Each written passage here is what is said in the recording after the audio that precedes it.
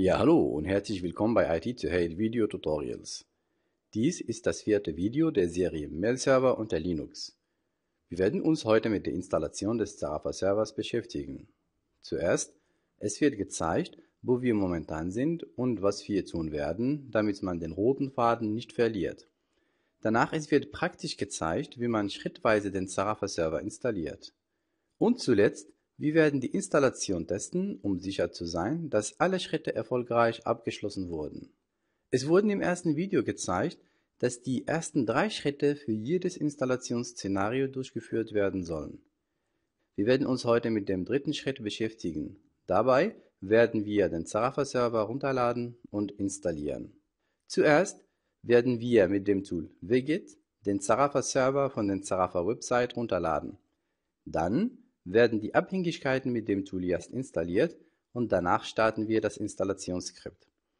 Aus dem Grund, dass SUSE Linux nicht alle benötigten Packages enthält, die Restabhängigkeiten werden wir mit dem Tool rpm installieren. Dann starten wir das Installationsskript install.sh, um die Installation abzuschließen. Zuletzt, wir werden die Installation mit Web Access Client testen. Um den Zarafa-Server herunterladen zu können, wir gehen auf die Webseite www.zarafa.com und wir gehen auf die letzte Version. Hier, letzte Version ist Zarafa 7 und dann gehen wir auf Zarafa Packages. Wir benutzen SUSE Linux in Version 11 und die 32-Bit-Version.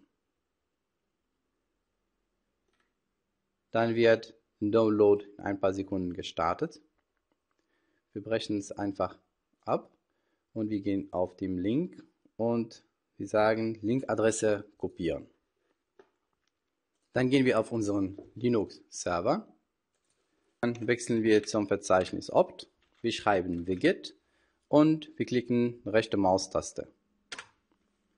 Damit wird das Package von der Download-Seite von Zarafa Server heruntergeladen und im Verzeichnis opt gespeichert.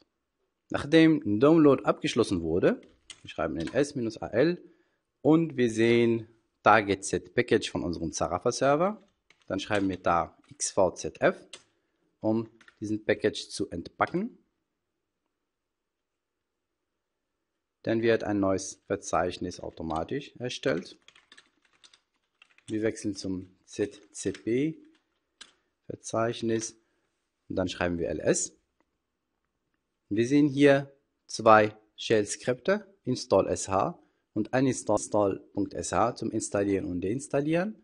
Dann starten wir ein Shell-Skript install.sh, drücken wir weiter und wir sehen, dass irgendwelchen Abhängigkeiten nicht richtig installiert sind. Dann starten wir das Tool Yast. Gehen wir auf Software, Software Management und wir suchen nach Apache 2 Bindestrich Mode unterstrich PHP 5. Dann markieren wir das Package zum Installieren. Nächster Package ist PHP 5 Bindestrich Gettext.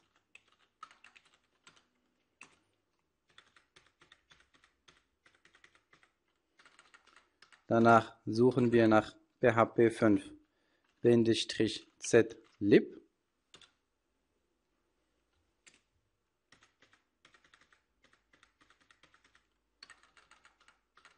Und zuletzt suchen wir nach sysstate.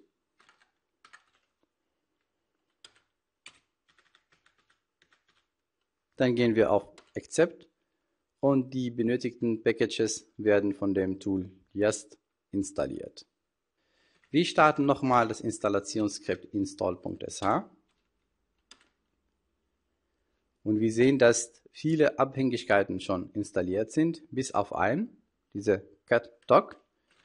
Dann schreiben wir ls und wir sehen, dass catdoc ist mitgeliefert mit dem Packages von Zarafa Server. Dann schreiben wir rpm minus i für install und dann catdoc und damit ist das Package auch installiert.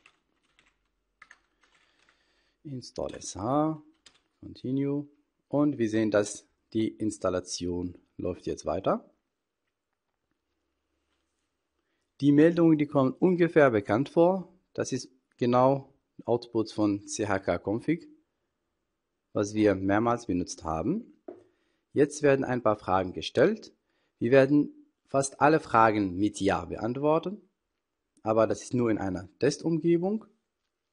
Bitte in einer produktiven Umgebung die Fragen entsprechend beantworten. Okay, MySQL ist ein Localhost, ein Port 3306, ein Root, zum Beispiel hier Root für MySQL ohne Passwort.